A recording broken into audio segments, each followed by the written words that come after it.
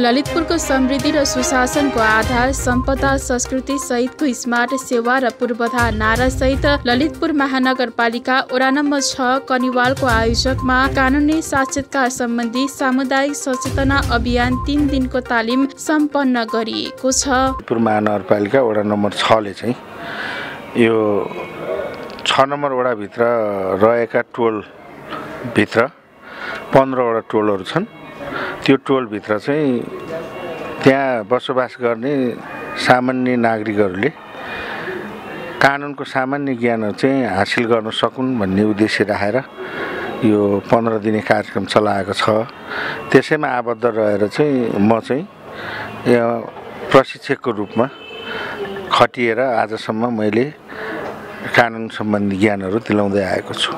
यहाँ समस्याको समाधान भन्दा पनि हामीले ज्ञान दिलाउने कानुनको सामान्य ज्ञान देशको संवैधानिक मौलिक हकको सम्बन्धमा पनि सामान्य जनताले बुझुन् र अनि अरूको कार्यविधि कानुनको सम्बन्धमा पनि कानुनले गर्न हुने र नहुने कुराहरू के रहेछ गर्दा के कुराहरूको चाहिँ अप्ठ्यारो पर्दो रहेछ कानुनको पालना नगर्दा के हुन्छ होइन? पालना गर्दाखेरि पनि कानुनले निर्दिष्ट गरेको काम कारवाहीभन्दा बाहिर गरेमा सजाय हुन्छ भन्ने कुराको सामान्य ज्ञान चाहिँ वडावासीहरूलाई हामीले दिलाइरहेछौँ। कार्यक्रममा धेरैजना सहभागी हुनुभएको छ। उहाँहरूले चाहिँ कस्तो खालको प्रश्नहरू अब कस्तो खालको समस्याहरू रहेको चाहिँ बताउनु समस्या एकदम राम्रो प्रश्न गर्नुभयो यहाँले। यहाँ कार्यक्रममा एकदम उत्सुकता देखिन्छ। कानुनी कुराहरूको ज्ञान लिनको लागि व्यवहारिक ज्ञानमा यिनीहरू टोलवासीहरूलाई परिआएको लेनदेनको विषय बिहाबारीको विषय सम्बन्ध विच्छेद सम्बन्धी ज्ञान र घरायसी अंश बन्नका लिखत लेनदेनका कारोबार र जन्म दर्ता मृत्यु दर्ता नाता लगायतका यी अति महत्त्वपूर्ण कुराहरूलाई हामीले उहाँहरूलाई शिक्षा दिएका छौँ र त्यही विषयमा रहेर उहाँहरूले प्रश्न गरेर उहाँहरू एकदम नै खुसी हुनुभएको छ।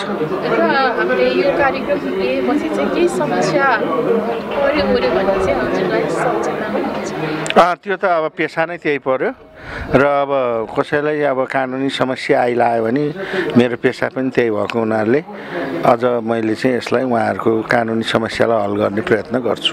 विशेष तपाईँले ललितपुरलाई मात्रै प्राथमिकता दिएर तालिम दिँदै आउनु भएको छ कि अरू अरू ठाउँमा पनि जानु? होइन हाम्रो यो अहिले चाहिँ म बसोबासै ललितपुर भएको हुनाले विशेष रूपमा वडा वाइज रूपमा अथवा नेपाल बार ललितपुरले हामीलाई चाहिँ एउटा कुनै कार्यक्रम गर्नको लागि उहाँहरूले अनुरोध गर्नुभयो भने हामी यहीँ सीमितमा रहेर गरेका छौँ। परिआएमा बाहिर जान पनि हामीलाई अवरोध चाहिँ छैन। विशेष गरी यो कोर एरियाका नेवार समुदायमा टोलवासीहरू वडावासीहरूमा नि कानुनी सचेतना नै छैन। उनीहरूले कानुन जान्नुपर्छ भन्ने पनि थाहा छैन। कानुन सिक्नुपर्छ भन्ने पनि थाहा छैन कि। न आफूलाई थाहा छ न उनीहरूले आफ्नो छोराछोरीलाई नि सिक्नुपर्छ भनेर हुन्छ। यो अवस्थामा हामीले यो के गर्न खोज्यौँ वडा नम्बर छले भन्दाखेरि नि कम्तीमा पनि वडावासीहरूले कानुन सिक्नुपर्छ है भने जानुहोस् कानुन जान्नुपर्छ है भनेर जानुहोस् भलै उनीहरूले सबै कानुनहरू नजान्ला होइन? तर पनि जान्नुपर्छ है भन्ने कुरा। जुन उनीहरूलाई अब मनदेखि नै जान्नुपर्छ है भन्न थालेपछि आफै फेरि खोजेर जान थाल्छन् नि। या त्यस्तै मान्छेहरूसँग छलफल गर्न खोज्छन् नि। हो यो नै हामीले चेतना चाहिँ अभिवृद्धि गर्नको लागि नै यो अभियान चलाएका हौँ। त्यसैले हामीले यसमा के राख्यौँ भन्दाखेरि कानुनी साक्षरता सम्बन्धी सामुदायिक सचेतना अभियान भनेर यो चाहिँ अभियान चलाएका हो। अनि यो अभियान त अब हामी चलायौँ। हामीले यसलाई चाहिँ अब वडामै बोलाएर पनि त क्लास लिन सक्थ्यौँ कानुनको। तर हामीले यो चाहेनौँ के? किन चाहेनौँ भन्दाखेरि वडामा बोलाएर क्लास लिने बेलामा एउटा क्लास होला दुईवटा क्लास होला जहाँ प्रत्येक टोलबाट एकजना दुईजना प्रतिनिधि आउलान्। तर यो भनेको दुई एकजना दुईजनालाई मात्रै जाने भयो कि? तर त्यतिले पुगेन। हामीलाई चाहेको चाहिँ सबै टोलवासीले नै बढीभन्दा बढी टोलवासीलाई बुझौँ भन्ने चाहेको भन्दाखेरि फेरि एउटा टोलको समस्या र अर्को टोलको समस्या पनि फरक हुनसक्छ।